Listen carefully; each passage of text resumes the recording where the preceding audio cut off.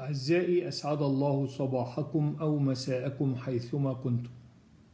اليوم الثلاثاء 29 من ديسمبر العام 2020 وحلقة جديدة من برنامج سعادتك في صحتك مع الدكتور ناجي.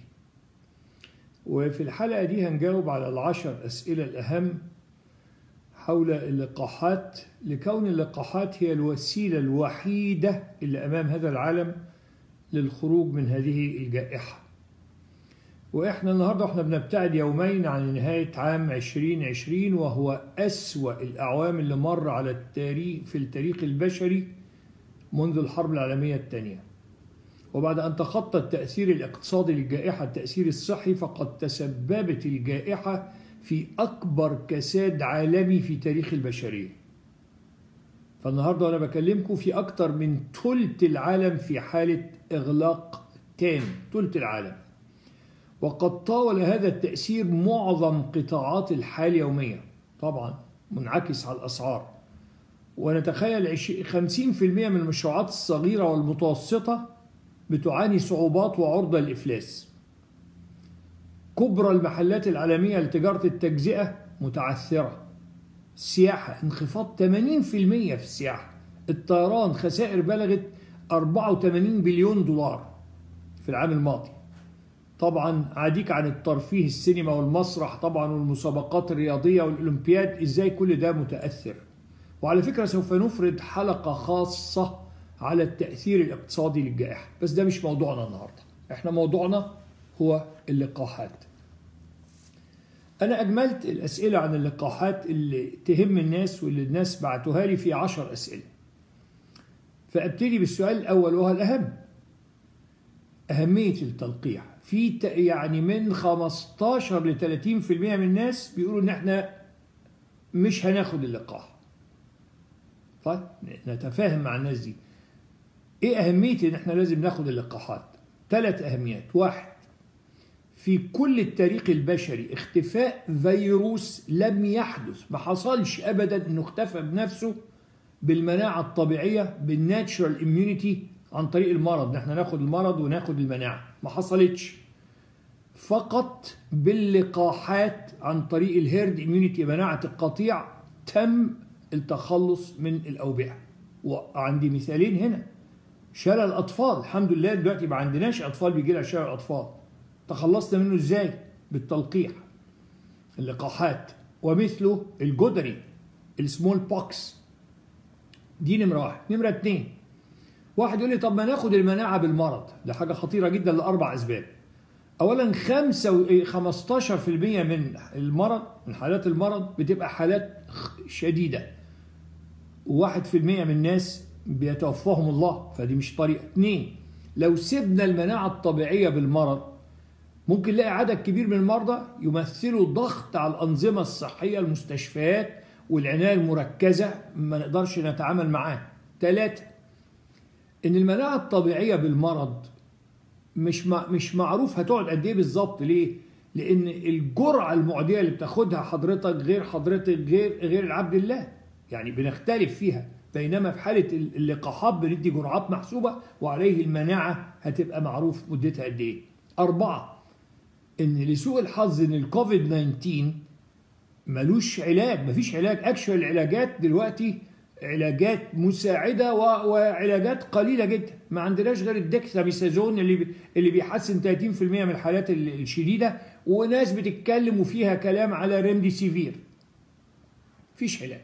طيب ثالث سبب إنه ممكن لو أنا سبت روحي للمرض يحصل آثار مزمنة. بعد كده أما آخد اللقاح اللقاح لا يمنع الآثار المزمنة للمرض. بعد حدوثها. لازم تمنع المرض أساسا عشان تمنع الآثار المزمنة. فاللقاح بيمنع الآثار المزمنة للمرض بمنعه للمرض لكنه ما يزيلهاش بعد أن تحدث. لو أنا خدت المرض وحصل لي آثار مزمنة مش هينفع اللقاح بعد كده. طب النقطة الثانية هل تعاطي اللقاح 100% هو اختياري؟ بس أنا بقول هو اختياري إجباري. يعني إيه؟ مش هندي حضرتك اللقاح بالعافية. طبعا أنت هتختار تاخد أو ما تاخدش. بس أنا أقول لك حاجة هيبقى بطريقة أخرى إجباري. يعني مش هتركب طيارة مش هتركب وسيلة نقل عام. لازم تركب عربيتك الخاصة. مش هتدخل مكان مغلق فيه عدم محدود إلا إذا بينت إنك أنت واخد اللقاح. هيبقى حاجة عاملة زي البطاقة الشخصية. معاك شهادة إنك أنت خدت الفاكسينيشن تقدر تركب طيارة وتركب مواصلة عامة وتدخل في الأماكن دي. فهو اختياري أه اختياري. بس في الآخر حماية المجتمع هيبقى بصورة غير مباشرة هو إجباري. ده كان السؤال الأول. انتقل للسؤال الثاني. اللي هو أنواع اللقاحات. ودي ال- ال- ال- الحلقة دي مخصصة للقاحات فعاوز أدرسها علميا. أولا عشان نعرف أنواع اللقاحات لازم نعرف ثلاث أشياء عن فيروس كوفيد 19 وأنا حضرت لكم رسمة أهي بهذه الصورة.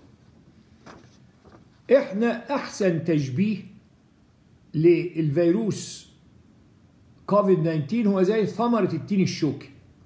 لب الثمرة اللي هو هنا ده عبارة عن الحمض النووي اللي هو عبارة عن خيط واحد من ال messenger RNA القشرة الحامية اللي هي باللون الأصفر اللي بتحميه دي عبارة عن دهون ودي اللي عشانها بنقول لحضرتك تغسل إيديك مكررا ومجددا بالصابون أو بالكحول 70% اللي هو ال sanitizers عشان خاطر تزيل القشرة الحامية الفيروس دي فتقتله. وبعدين نيجي الأهم حاجة بقى بره اللي هي باللون الأحمر اللي هي الأشواك البروتينية ال spike proteins دي. الأشواك البروتينية باللون الأحمر دي هي سر قوته وسر ضعفه.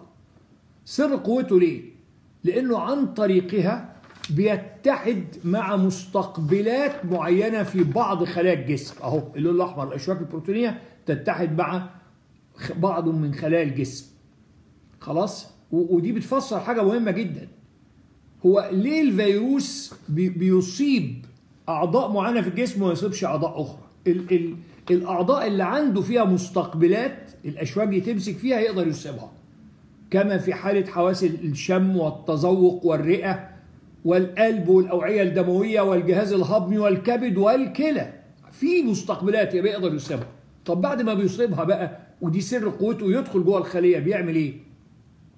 بيحول الخلية دي لماكينة لتصنيع ملايين النسخ من الفيروس. يعني هي الخلية بقى هي اللي تصنع الفيروس. إزاي؟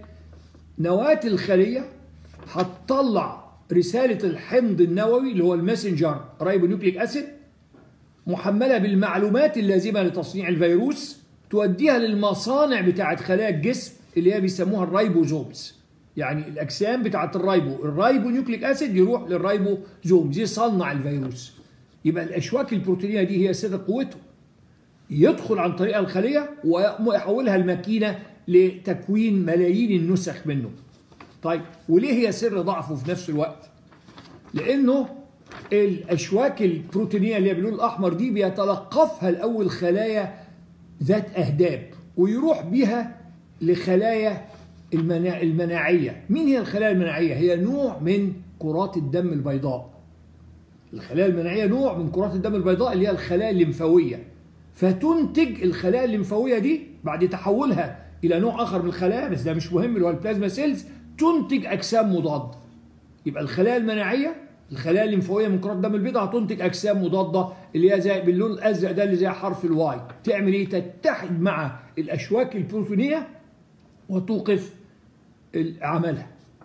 طيب نيجي بقى اللقاحات في عندنا أكتر من 150 شركة بتطلع لقاحات. إنما اللقاحات المتاحة في العالم دلوقتي ستة. هنشرحها. هبتدي بال... بال... بال... هبدأ بدراسة اللقاحين الصينيين. ليه؟ لأن هما دول متاحين في المتاح يعني هو هذان اللقاحان هما المتاحان في مصرنا العزيزه دول بالتكنيك إزاي؟ جيبوا فيروس الكوفيد نفسه ويعملوا له يوقفوا نشاطه كيميائيا. يبقى عبارة عن inactivated virus اللقاح ده عبارة عن inactivated virus يبقى لما نديهولك هو غير نشط يبقى مش هيعمل لك عدوى.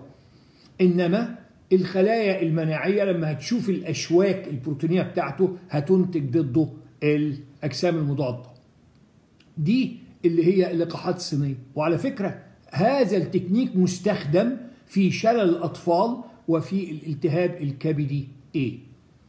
طب نيجي ننتقل إلى اللقاحين الثانيين اللي هما اللقاح بتاع إنجلترا اللي هو أسترازينيكا بتاع جامعة اوكسفورد وبتاع روسيا. دول لا بيستخدموا تكنيك تاني خالص بس برضه ت- تم قبل كده. بيجيبوا فيروس تاني خالص غير معدي للإنسان. ويحملوه بالمادة الجينية اللازمة لتصنيع الأشواك البروتينية. يسموها virus vector vaccine. يعني فيروس مش معدي لينا بس محمل بالمادة الجينية اللي هي هتدفع خلايا المناعة في جسمنا لتكوين الأجسام المضادة ضد الأشواك البروتينية للفيروس اللي هي سر قوة الفيروس الحقيقي. وبرضه هذا التكنيك اتعمل قبل كده. في مين؟ في الإيبولا في فيروس الإيبولا. طب نيجي بقى لآخر لقاحين اللي هم اللقاحين بتوع أمريكا.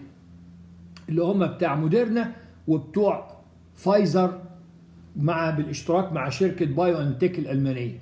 دول بقى بيستخدموا تكنيك جديد خالص. قال لك معنا ليه ندي فيروس الكوفيد بعد إيقاف نشاطه أو فيروس مشابه للكوفيد بس محمل بالمادة الجينية لإنتاج الأجسام لإنتاج الأشواك البروتينية؟ إحنا ندي رسالة الحمض النووي نفسها الرسالة اللي هتعمل الأشواك البروتينية اللي هي ال messenger RNA فده technology جديد خالص. طيب دلوقتي ده يعني واحد يقول لي عاوزين ننتقل للسؤال اللي بعده. طب إحنا إيه يعني المزايا والعيوب وعلى أي أساس هنختار اللقاح؟ تعال نقارن. ال- اللقاحات بتاعت الصين وبتاعت إنجلترا وبتاعت روسيا دي فيها ميزتين وفيها عيبين. الميزة الأولى إنها مجربة. دي نمره واحد الميزة الثانية والاهم إنها يمكن حفظ اللقاحات دي في فريزرات عادية. يعني الفريزرات بتاع الثلاجات موجودة وعشان كده هي الأنسب لدول العالم ال ال النامي في استخدامه عشان كده اخترنا اللقاحات الصينية لأن التكنولوجي بتاعها سهل ومجرب. طبيعي عيبها إن فعاليتها أقل قليلا من اللقاحات الأمريكية. يعني الفعالية 86% مقارنة في اللقاحات الأمريكية 95% الفعالية. مش فرق كبير يعني. وفيها عيب تاني لا يخص حضرتك إن عشان الإنتاج بتاعها بطيء ما تقدرش تنتج كميات كبيرة في وقت قليل. العكس بقى ال- اللقاحان اللي هم الموجودان في أمريكا اللي هم موديرنا وفايزر دول التكنولوجي جديد. يعني مش مجرب قبل كده. ثانيا التك... محتاج تخزين فايزر في ناقص 70 سلسيوس وفي موديرنا ناقص 20 سلسيوس. يبقى عاوز ثلاجات خاصة واستعدادات خاصة غير متاحة لدول العالم النامي. إنما إيه المزايا اللي فيها؟ إن الفعالية أكتر قليلا بدل 86% بتبقى 95% والإنتاج سريع جدا. موديرنا بتقول إنها في سنة 2021 هتنتج من نص إلى مليار جرعة. تصور مليار جرعة بس على فكرة.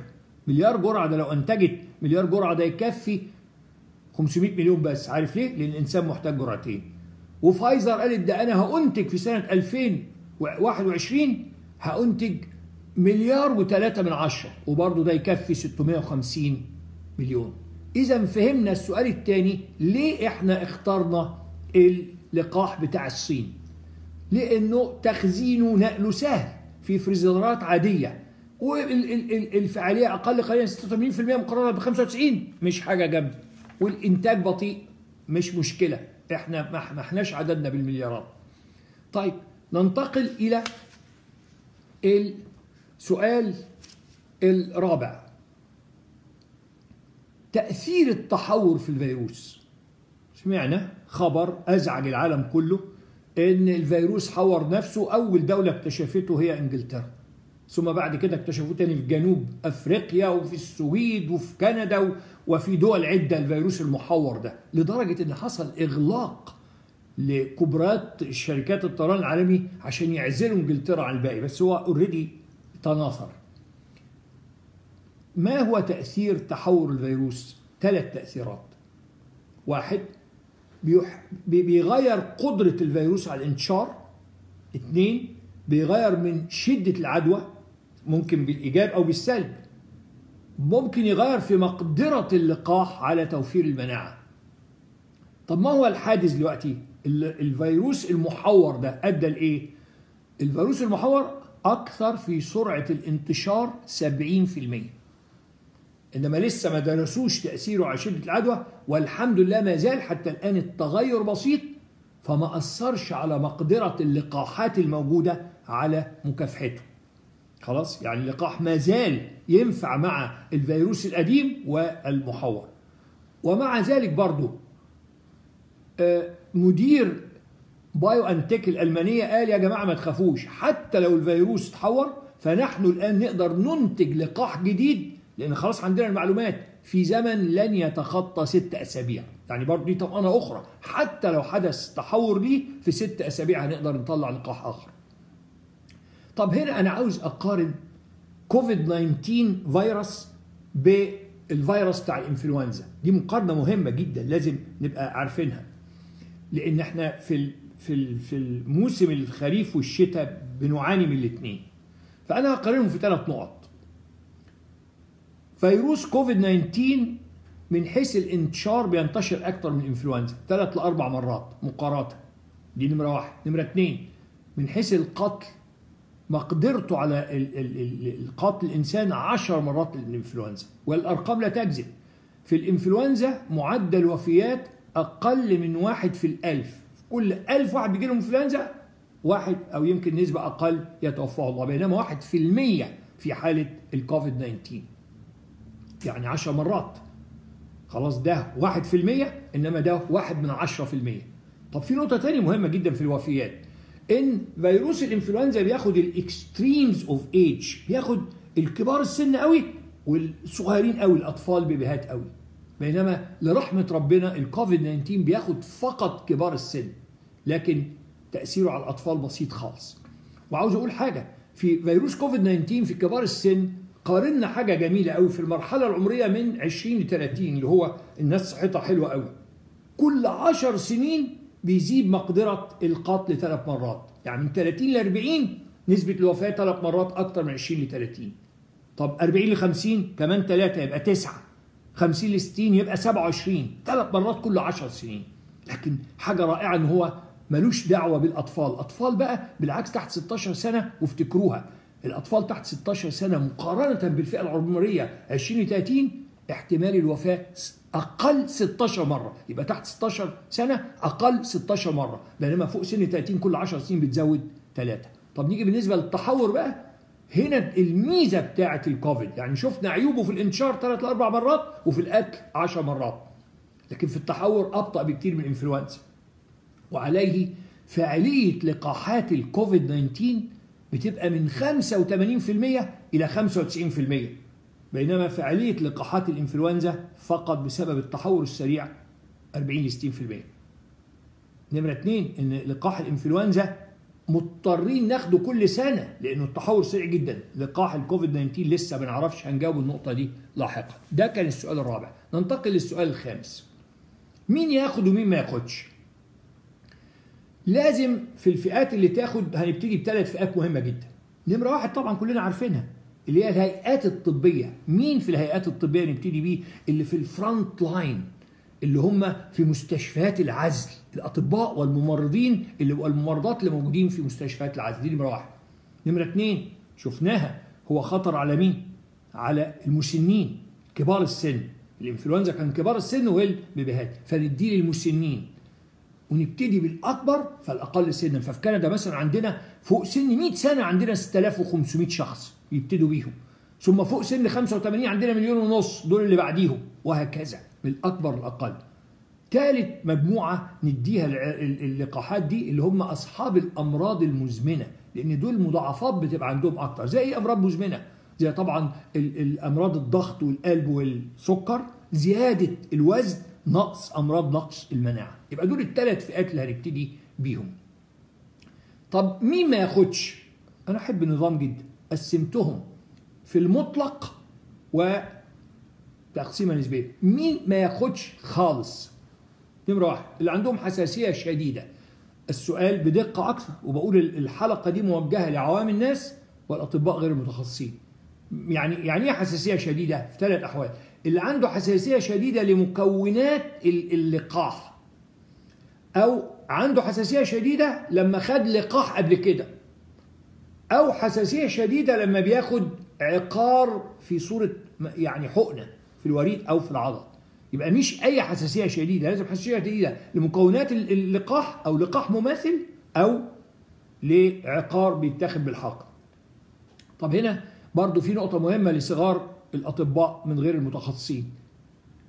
إحنا عندنا أكتر حساسية عارفينها الأطفال يقول لك عندهم حساسية للبنسلين بنسلين. هذا الكلام ثبت إن 90% من التصور بأن الطفل عنده حساسية للبنسلين خطأ. ليه؟ إن الطفل بيحصل له بسبب العدوى الفيروسية أو البكتيرية طفح جلدي وياخد بنسلين فيتهيأ لهم إن الطفح ده حصل من بنسلين بينما هو في واقع الأمر حصل من العدوى. عشان كده بقولها معلومة جميلة قوي 90% من حالات الحساسية للبنسلين مش صحيحة.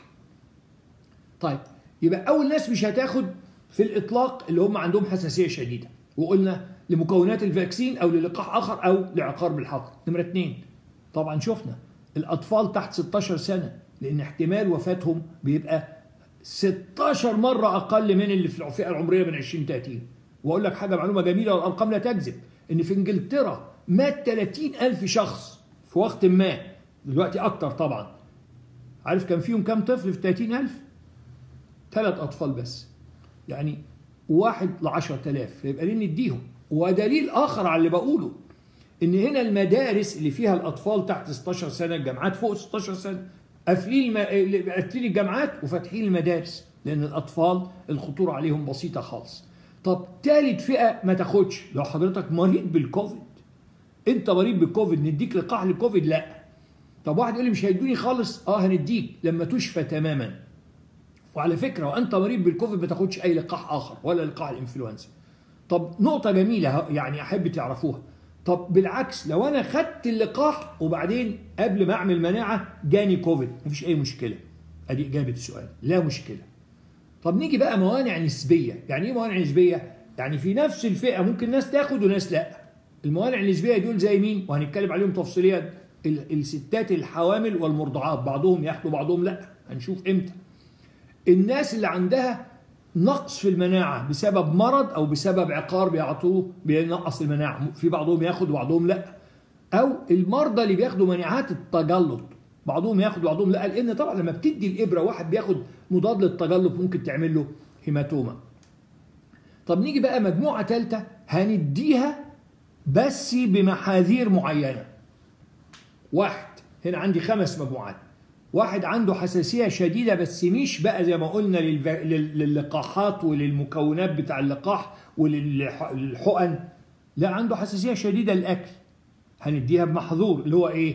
إنه بعد ما نديها له يقعد ما يسيبش المكان لمدة 30 دقيقة عشان نتأكد إن ما حصلش حساسية. لو حصل حساسية ممكن نوقفها بالأدرينالين اللي هو الإبينفرين أو يسموها إبيبان. وأنا أقول لك حاجة نصيحة مخلصة. كل واحد فيكم يروح ياخد اللقاح ما يمشيش قبل 30 دقيقة عشان يتأكد ما حصلوش حساسية مفرطة ويدوله الابينفرين. طيب نمرة اتنين واحد خد لقاح الإنفلونزا ما ينفعش ياخد لقاح الكوفيد قبل 14 يوم. دي نمرة اتنين. طيب مريض بالكوفيد وعالجوه ب antibodies ادوا له antibodies ضمن العلاج. هنا ما ندلوش اللقاح غير بعد 90 يوم. طيب شخص في العزل لأنه ممكن يبقى عنده كوفيد ما ندلوش غير بعد انتهاء العزل دي نمرة أربعة. وبعدين زي ما بقول لو واحدة ست حامل واديتها اللقاح وحرارتها عليت الحرارة العالية دي ممكن تأثر على الجنين على فكرة. فعشان كده بننقص الحرارة ومش بأي عقار لازم بعقار آمن اللي هو الأسيتامينوفين اللي هو الباراسيتامول اللي هو التايلينول ده اللي لازم تاخد لازم الست الحامل لو خدت وحرارتها ارتفعت ننزلها طيب. هتكلم في نفس السؤال ده الخامس على الفئات الخاصة الحوامل. هو ليه إحنا مع الحوامل لم تتضمنهم التجارب الأولى؟ إحنا عندنا زخم من المعلومات ما نقدرش نجرب في كل الناس في آن واحد. فما جربناش على الحوامل. لكن حصل انه إحنا بنجرب على المتطوعين بعضهم كان حامل وما يعرفش من الستات أو حمل بعد ما خد اللقاح. أقول لك حاجة ما لقيناش أي مشكلة. طيب بس على فكرة ده مش ما, نقدرش نخرج علميا نقول بقى إن اللقاح لا يؤثر في الحوامل لأن نحتاج إن إحنا نعمل التجربة على أعداد كبيرة إنما في الأعداد الصغيرة اللي حصل بالمصادفة ما حصلش حاجة. طيب لو ست حامل تقول لي آخد ولا ما آخدش اللقاح؟ فبقول لها حاجتين. في أول ثلاث أشهر ال first trimester اللي هم ممكن يحصل ممكن ما بقولش اللقاح هيعمل كده. إنما هو في العموم ممكن يحصل تشوه في الأجنة يبقى يفضل بلاش في اللقاح في أول ثلاث اشهر طيب إلا إذا كانت هي بقى عرضة جدا إن يجي لها الإصابة لأنها بتشتغل في الخطوط الأولى في الهيئات الطبية ممرضة أو بتشتغل في دار مسنين أو كان عندها أمراض مزمنة ممكن لو جالها الكوفيد تؤدي إلى مضاعفات خطيرة. دي أول فئة. وقلنا لو حرارتها زادت هننزلها بال مش أي عقاب بالباراستامول أسيتامينوفيل أو تالينول. تاني حاجة المرضعات لأن الست اللي بترضع مفيش أي مشاكل. ما تأجلش الرضاعه وتقعد عادي خالص ترضع ونفس الكلام الست ما تأجلش الحمل في اللي قبلها. نمرة ثلاثة قلنا الأطفال. خلاص؟ الدراسة عملناها لسن 16 18 بس. ليه ما نزلناش تحت 16 سنة؟ قلت لأن تحت 16 سنة نسبة الوفاة أقل 16 مرة من الفئة العمرية من 20 ل 30 فادي الاجابه بالنسبة للاطفال وغالبا الاطفال مش هياخدوا اللقاحات. قلنا في انجلترا ثلاثة في 30 ألف بس كانوا من الأطفال والمدارس فاتحة وشغالة زي الفل الحمد لله جامعات قافلين طب الناس اللي عندها نقص في المناعة بسبب مرض أو بسبب عقار؟ قلنا مين ياخد ومين ما ياخدش؟ ما ياخدش اللي عنده نقص في المناعة إذا كان عنده حساسية شديدة. من إيه بقى؟ من مكونات اللقاح أو من لقاح آخر أو من حقن معينه يبقى ما ياخدش. معايا؟ فده ده اللي نعمله. وفي جميع الأحوال الناس اللي تاخد اللقاحات هتلتزم بالإجراءات الاحترازية اللي هي الماسك والتباعد الاجتماعي والغسيل اليد مجددا ومكررا وعدم ملامسة الوجه لحد إمتى؟ لحد ما 60 ل 70% من المجتمع يتم إعطاء اللقاح يعني لحد ما نصل إلى مناعة القطيع. ده كان السؤال الخامس. السؤال السادس. طبعا يقول أنا أنا أنا خايف اخد العقار. ليه خايف؟ خايف من الأعراض المحتملة. طيب اتكلمت عليها في حلقة قبل كده لكن أقولها تاني. الاعراض المحتملة في أعراض شائعة. بيبقى تعب شوية ألم في العضلات تحصل صداع ارتفاع طفيف في درجة الحرارة. وطبعا في مكان الحقن ممكن يبقى فيه شوية حرقان ولون أحمر وتورم خفيف. دي أعراض شائعة. بتحصل إمتى؟ بتحصل في أول أسبوع بعد الحقن غالبا في أول يومين. وممكن تحصل بعد الجرعة الثانية خاصة في صغار السن. أعراض طفيفة جدا. أنا أحكي لك قصة صغيرة. ليا تلميذ أمس وزميلي اليوم دكتور امراض باطنة بيشتغل في بافلو هنا. ده كان جاله كوفيد. ولأنه طبيب في الخط الدفاع الأول ادوله اللقاح بتاع موديرنا. وحصل بالظبط اللي قلت لك عليه ده شوية صداع خفيف والم في العضلات وتعب. دامت لمدة يومين. أنا سألته سؤال أنت طب مقارنة بالأعراض اللي حصلت لك لما خدت الكوفيد؟ قال لي لا وجه المقارنة. خد بالك ده خد كوفيد وبعد كده خد العقار. طبعا أنت شايف من الكوفيد فقلت بناخد بعد ما يخف لأن عشان نديله مناعة معروفة.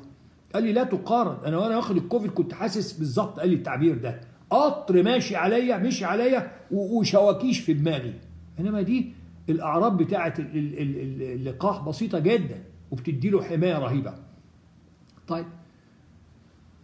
في احتمالات أقل وخصوصا مع اللقاحات الأخرى. لسه ما نعرفش مع مع لقاحات الكوفيد قوي لأن ممكن اللي بياخد أي لقاح يحصل له طفح جلدي وارتفاع شديد في درجة الحرارة. وفي حالة الأطفال قلت بيبقى الطفل متقرف طبيعي الاحتمال الخطير إن يحصل له حساسية. قلت مش لل vaccine نفسه لمكونات ال vaccine اللي هنتكلم عليها. الحساسية دي بتحصل نسبتها قد إيه؟ واحد لكل مئة ألف لكل واحد في المليون. خلاص؟ وبتحصل بعد أقل من 30 دقيقة عشان كده قلنا استنى 30 دقيقة ما تمشيش بعد ما يدوك اللقاح. في صورة إيه؟ في صورة طفح جلدي وهرش في صورة تورم في الوجه في صورة ضيق في النفس وكحة وعطس في صورة قيء وألم في البطن. هنديك حقنة ال epinephrine أو الأدرينالين هتبقى زي الفل. احتمالها قد إيه؟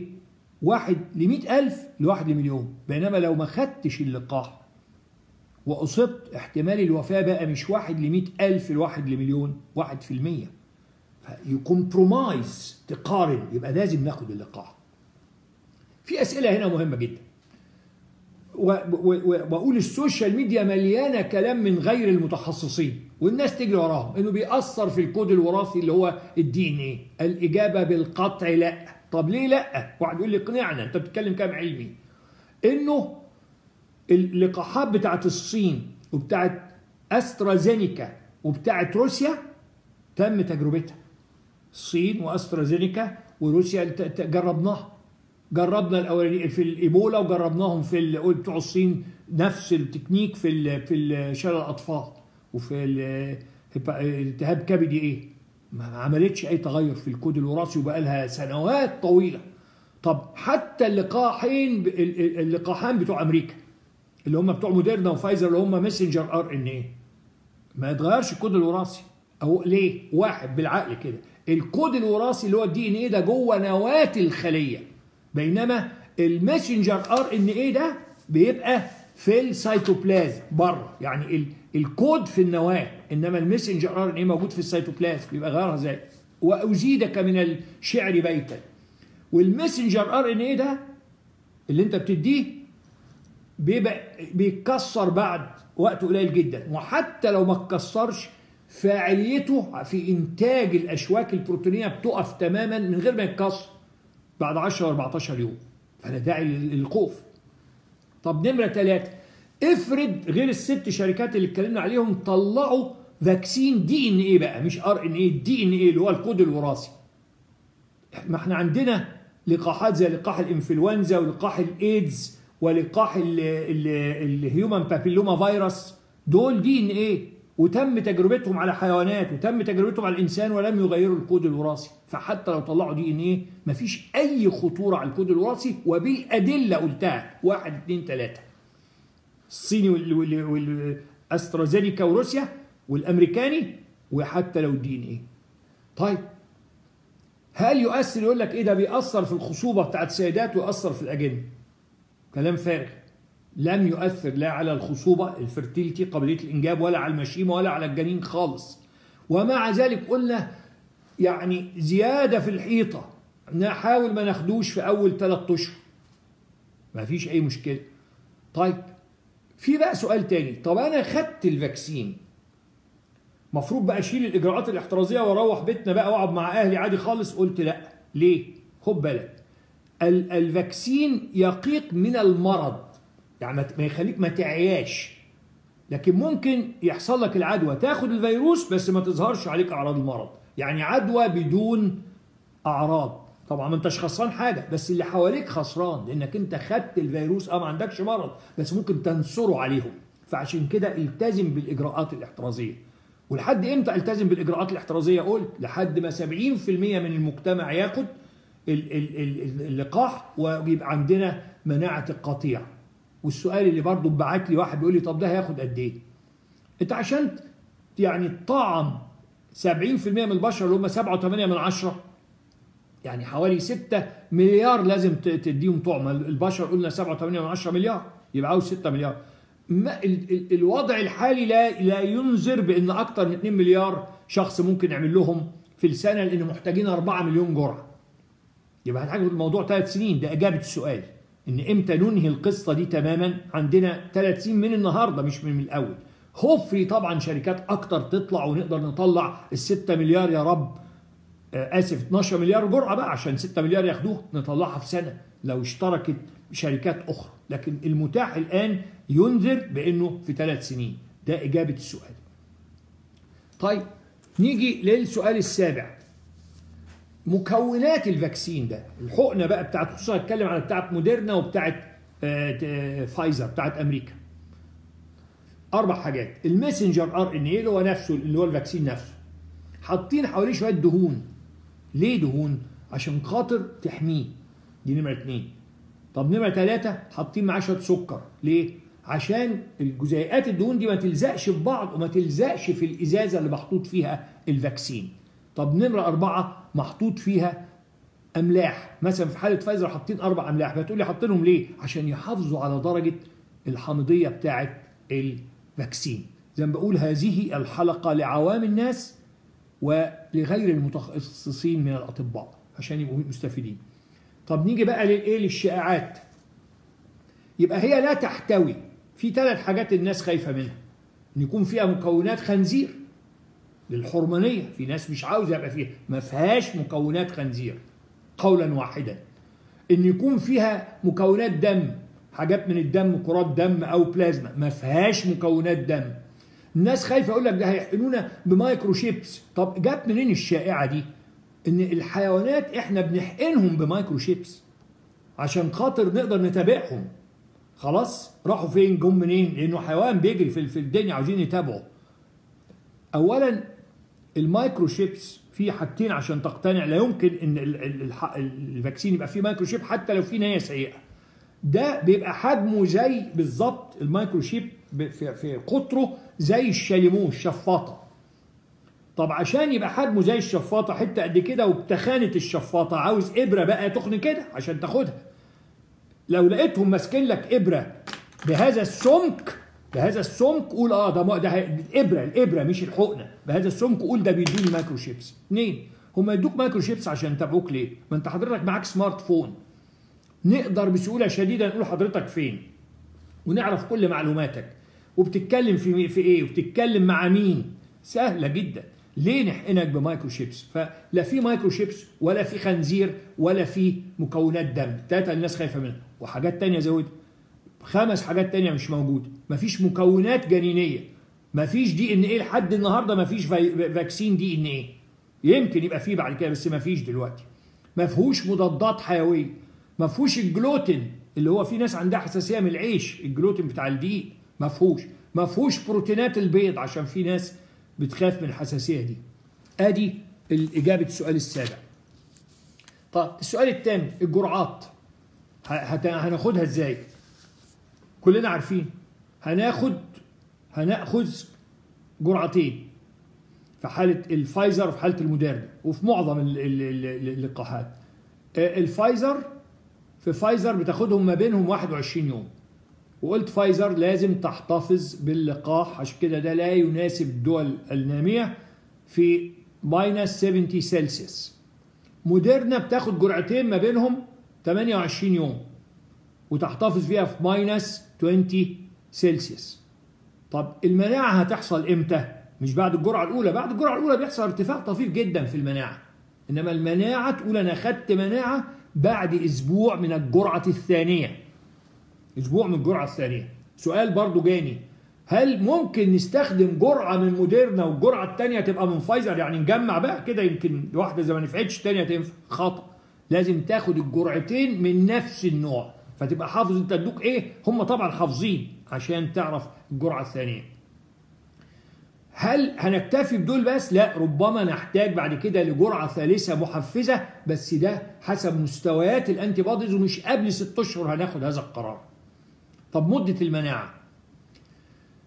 مدة المناعة لو انت خدت المرض في حالات نادرة عشان يبقى الكلام علمي حصل لها إصابة مرة ثانية. مش كل الناس يعني في الأغلب اللي جالهم كوفيد 19 ما يجيلهمش إصابة تانية. في الأغلب في الأغلب عدد نادر جالها إصابة ثانية. طب في حالة اللقاح المناعة بتاع اولا لحد دلوقتي إحنا إحنا بدأنا اللقاحات دي من ست شهور. فخلينا واقعيين ما نقدرش نجزم ال antibodies قاعدة ست شهور. هل هتكمل سنة؟ هتكمل سنتين؟ ما حدش يقدر يجاوب. الزمن هو اللي هيجاوب هذا السؤال. ال antibodies هتفضل قد إيه؟ فإجابة السؤال right now على الأقل ست شهور. لو قعدت واختفت بعد شوية هنحتاج نديك جرعة محفزة. ولكن في جميع الأحوال فهي في ميزة تاني قلت في الكوفيد 19 إن تحور الفيروس أبطأ من تحور تحور ال ال الفيروس بتاع الإنفلونزا. وعشان كده الفعالية قلنا 85% أو 86 في الصيني تصل ل 95 في الأمريكاني. بس عاوز أقول برضه عشان أبقى محق دي نتائج التجارب السريرية. لكن لما بنبتدي ندي الفاكسين في قطاع كبير قوي البشر بنلاقي إن النسب بتبقى أقل قليلا. واحد سالني ليه؟ لأن التجارب السريرية دي بتبقى في وضع مثالي بتديها لناس اوريدي جاية بتشارك في تجربة محافظة على روحها حاجات من هذا القبيل. لما تدي في قطاع كبير من البشر نسب بتقل قليلا عن 85 و95% عشان يبقى الكلام علمي 100% طيب هل واحد خد الإصابة؟ نطعمه أظن حكيت القصة بتاعت زميل الأم تلميذ الأمس وزميل اليوم. آه طعموه تاني. ليه؟ لأنه إحنا الإصابة مش عارفين الجرعة اللي خدها قد إيه وبالتالي هتدي له أنتي بادز قد إيه. فبنطعمهم تاني. ده الإجابة. خلاص؟ بس إمتى؟ بعد التعافي تماما. يعني بعد ما كل الأعراض تروح. وإذا كان العلاج قلت شمل antibodies اللي خد الكوفيد خد antibodies ضمن العلاج فما تدلوش اللقاح بقولها لصغار الأطباء من غير المتخصصين قبل 90 يوم. تمام؟ السؤال برضو بيتسأل طب فايزر ناقص 70 سلسيوس وموديرنا ناقص 20 هل هيدوني الحاجات الساقعة جدا دي؟ لا. إحنا بنطلعه من من الفريزرات وبنسيبه لما ياخد حرارة الغرفة. ونخففه بمحلول ملح ونديهولك بنديهولك في الحرارة العادية. ده إجابة السؤال اللي بيسأل عليه الناس. طيب سؤال تاني اتسألته هل لقاح الإنفلونزا أو لقاح الالتهاب الرئوي أو لقاح الجمرة الخبيثة اللي هو الأنثراكس هل اللقاحات دي ممكن تفيد في مناعتي ضد الكوفيد 19 الإجابة لا. ما يفيدكش في المناعة ضد كوفيد 19 قولا واحدا غير لقاح كوفيد 19 طب سؤال اتسالته طب إيه هل مهم آخد لقاح الإنفلونزا؟ آه طبعا مهم جدا تاخده بالإضافة للقاح كوفيد 19 وقلت لازم يبقى في ما بينهم على الأقل 14 يوم. ليه؟ اولا لأن لو جالك إنفلونزا الأعراض مشابهة للكوفيد 19 فممكن تتلخبط تبقى انت مش فاهم أنت عندك كوفيد 19 ولا إنفلونزا. اثنين لو جالك لا قدر الله الاثنان في آن واحد إصابة مزدوجة في منتهى الخطورة. ثلاثة إن وجود يعني وجود عدوتان في آن واحد يعني ناس عندها إنفلونزا وناس عندها كوفيد 19 ده هيضغط أكتر على الأنظمة الصحية المستشفيات وال ICU فعشان كده لازم ناخد لقاحين بس بفترة 14 يوم وطبعا لما ناخد لقاحين وعدد قليل من الناس يجي لها كوفيد وإنفلونزا يبقى نقلل فترات الإغلاق العام اللي موجود اللي قلت دلوقتي ثلث العالم مغلق. ده كان السؤال التاسع، نيجي للسؤال العاشر والأخير بقى. وده سؤال لطيف جدا. هل السرعة بتؤثر على الأمان؟ يعني إحنا عرفنا إنه ده أسرع لقاحات في التاريخ، أسرع لقاح كان بتاع قلت الممس التهاب الغدة النكافيه خد أربع سنين. طب ده في أقل من تسعة أشهر طلعوا ست لقاحات دلوقتي وفي شوية تانيين طالعين. قلت لا لن يؤثر على الأمان. طب واحد يقول لي طب فهمنا ليه؟ برضه بقى الحتة دي أكتر لصغار الأطباء.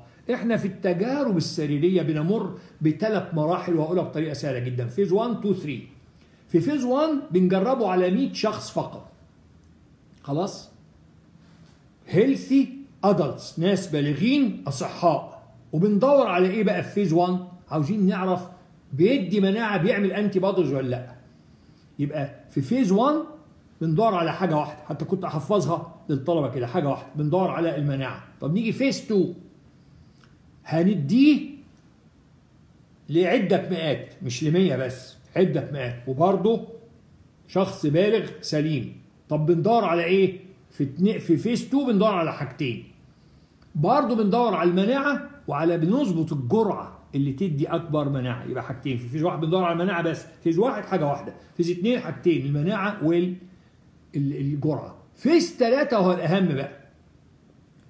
ده بنديه لعشرات الألوف مش لمئات. مش healthy adults الفئة اللي انت عاوز تعمل لها مناعة. كبار السن مثلا ده اللي هم الفئة المستهدفة الهيئات الطبية حاجات من هذا القبيل. ال ال يعني بتدور الفئة اللي انت عاوز تديها مناعة. اللي عندهم أمراض مزمنة. للآلاف.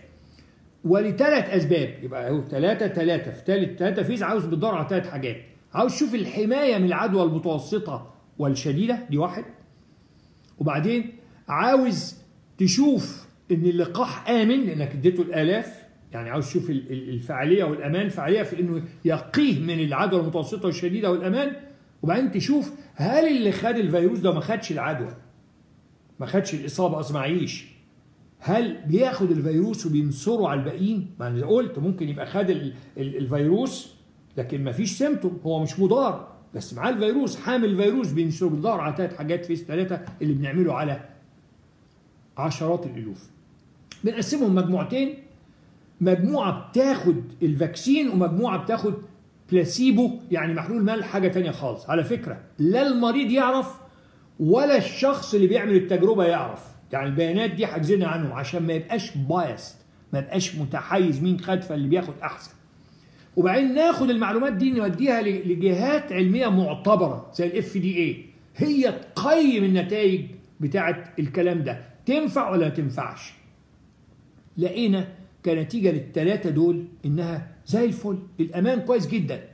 وعلى فكرة phase 1 كان المفروض ياخد سنة أو أكتر حتى بنحفظها بطريقه طيبه phase 1 سنة أو أكتر ولسبب واحد قلنا بنعمله. phase 2 سنتين أو أكتر. ولسببين phase 3 ثلاث سنين أو أكتر. إذا كان مفروض في الوضع العادي ناخد لو حسبتها كده على الأقل ست سنين ده أكتر. ست لتسع سنين مثلا. ده ما حصلش إحنا خدنا تسعة أشهر. خلاص يعني بسرعة جدا. ليه بقى السرعة دي وفي نفس الوقت في أمان؟ لعدة أسباب. واحد التكنولوجي تطور جدا في العلم دي نمرة واحد. اثنين تم مضغ فيز 1 وفيز 2 مع بعض. ثلاثة phase ثلاثة تم اختصار وقته. يعني قعدنا شهور مش سنين. أربعة إن إحنا لما ابتدت بشائر النجاح تبان مش هنستنى أما تظهر وال FDA يوافق لنا أو المنظمة اللي عندنا في كندا أو في إنجلترا توافق. الحكومات دفعت فلوس قالوا لهم انتجوا وحتى لو الهيئات العلمية ما وافقتش هنرمي العينات دي بس لو وافقوا طلعت حلوة يبقى جاهزة. ادي الأربع أسباب إزاي تم السرعة في نفس الوقت مع الأمان. يبقى سؤال برضه عشان نبقى أمناء. طب الكلام ده على عشرات الألوف لكن لما نجربه في ملايين آه في حاجة في الطب اسمها adverse effects يعني تأثير غير متوقع. آه ممكن واحد في المليون أو قلنا واحد في كل مئة ألف في كل مليون قلناها حتى في اللقاء في اللقاحات الأخرى يحصل له حساسية. What? إحنا بنقول لك في عشرات الألوف مفيش حاجة. في ملايين ممكن يحصل. آه ممكن يحصل. أقولها لك بطريقة تانية عشان تقتنع. حضرتك احتمال واحد في المليون لما تنزل من بيتكو يحصل لك حادثة لا قدر الله تدهمك سيارة. يبقى ما تنزلش. ده ده الحل. افرض ان في احتمال واحد في مليون مش عارفينه دلوقتي ان اللقاح يبقى فيه خطوره يبقى نعرض مليون للخطر يموت فيهم واحد في المية يعني عشرة آلاف عشان واحد ممكن يحصل له حاجة؟ ويقول بس كومبرومايز يا جماعة. نشوف إيه اللي المفروض نعمله. ده كانت إجابة الأسئلة العشرة الأكثر قلت لعوام الناس وللصغار الأطباء من غير المتخصصين. وفي النهاية أرجو ألا يستقي أحد معلوماته من غير المتخصصين من رجال العلم. وما أكثر دول على وسائل التواصل يعني. حاجة بفتح الحقيقة حاجات غريبة بقى. تقرأ بقى كرومونيوم وشلولة وعصير توم وغرغرة طبية وحاجات ما شفناهاش في الدنيا. ومش كده بس والناس بقت إيه؟ عشان تثيرك أكتر معلومات بقى مثيرة وغريبة. ده هيحقنوك ب microchips. ده ما فيش خالص كوفيد في الدنيا. الدنيا دي بتهزر. الاقتصاد العالمي وقع كده هزار بنضحك مع بعض. حاجات من هذا القبيل. معلومات مثيرة وغريبة. كل يوم ونقعد نتداول حاجات. أشياء لا تصح. ويبقى السؤال الجوهري اللي من من من أجله أنا عملت هذه الحلقة وحلقة زي ما أنت شايف متخمة بالمواد العلمية. هل نأخذ أي لقاح في بلدنا متوفر؟ الإجابة بالقطع نعم وبملء الفم. ليه؟ لصالحك ولصالح المجتمع وما استحق أن يولد من عاش لنفسه. ده ما بتاخدوش بس عشان روحك. لأن مش هنقدر نخلص من الكارثة دي غير لو 60 ل 70% من الناس خدوا اللقاح ووصلنا إلى مناعة القطيع. وأعيد مجددا ومكررا ما قلت في أول حلقة. لم يختفي فيروس في التاريخ في التاريخ بالمناعة الطبيعية بالناتشرال immunity of getting disease or the ما, حصلتش. اختفت فقط الفيروسات بالهيرد immunity via vaccination بمناعة القطيع باللقاحات. ولنا قلت دليل شلل الأطفال. نحمد الله ما عند ما فيش أطفال النهاردة بيجي لها شلل أطفال بسبب لقاح شلل الأطفال. مفيش جدري بسبب لقاح ال smallpox عمرها ما انتهت الأوبئة بمجرد إن إحنا ناخد المرض وقلت تكلفة المرض إنك ال 15% إصابات شديدة و1% يموتوا. ضغط جامد ناس كتيرة هتعمل ضغط على الأنظمة الصحية. مش عارفين المناعة دي هتقعد قد إيه. قلت الأربع أسباب ال- ليه ما نسيبش روحنا. ما فيش غير لقاحات. فمن فضلكم من فضلكم الناس اللي هي واخده قرار مسبق. تسمع الحلقة مجددا ومكررا وتشوف إيه الأعراض الجانبية إيه الاحتمالات لم عملوها إزاي أسرعوا إزاي. اسمع اسمع. من يعلم يحذر ومن يحذر يأمن. لازم بالعلم مش بالفهلوة. مش نقعد نتابع من غير المتخصصين كلام مش عاوز أنعت. أي حاجة تضايق أي حد. وفي النهاية أشكركم على حسن متابعتكم وألقاكم بإذن الله في حلقة جديدة من برنامج سعادتك في صحتك مع الدكتور ناجي. وحتى ذلك الحين أستودعكم الله وأشكركم شكرا جزيلا.